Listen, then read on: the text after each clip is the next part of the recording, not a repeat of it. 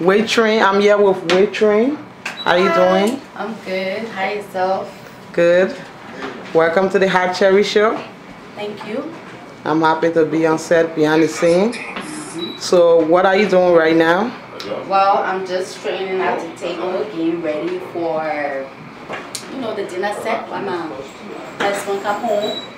What can we expect from your character? Well, I'm just a very humble wife, trying to do her best, but he's very unappreciative and he's very abusive, so I'm trying to stay as humble as I can. That's what I'm doing a good wife. All right. That's it. Thank you for your time and keep working. We'll get back to you later. This is the Hot Cherry Show. Say something nice to the Hot Cherry Show. I love you, Hot Cherry. You're the best. Shout out to um Devon Production.